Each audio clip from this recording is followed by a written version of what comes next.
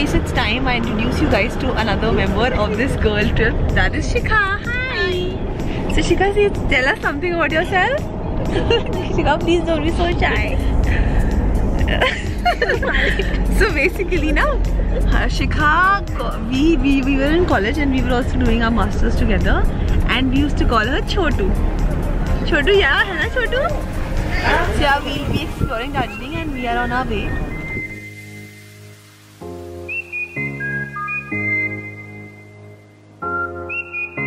So we are basically midway and this is the scene like as you can see it looks really beautiful and I'm so sure it's going to be really cold up.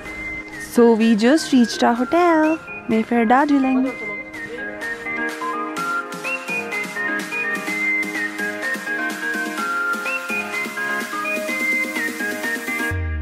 This is such a nice welcome. See, they welcomed us.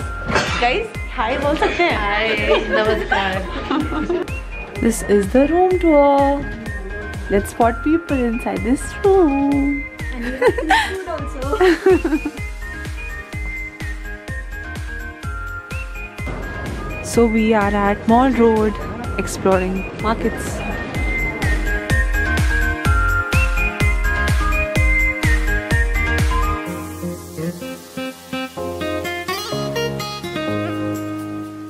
We are tasting some teas before buying them. And we have so many flavors like African Karwa, Green Tea Infusion, African Brits, and the last one is this saffron Kashmiri Kahwa.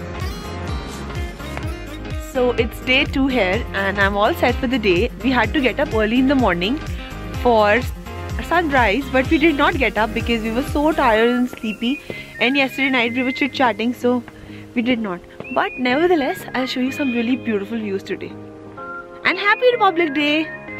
Happy Republic Day. Okay, so we'll see. Just look at this view from our hotel. It's so beautiful. Like this Mayfair hotels are really good. So if you come to Darjeeling, you must must come here.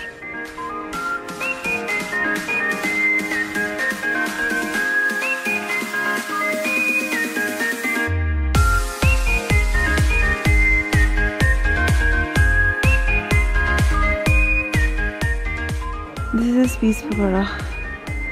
So beautiful.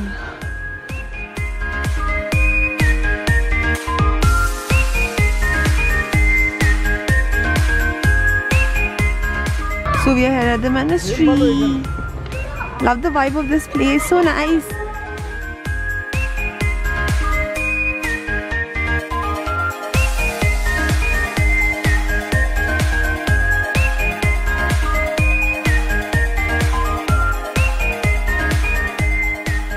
We are done for the day. We came to the viewpoint to see some sunset, but as you can see, it's so much of fog. So day two ends.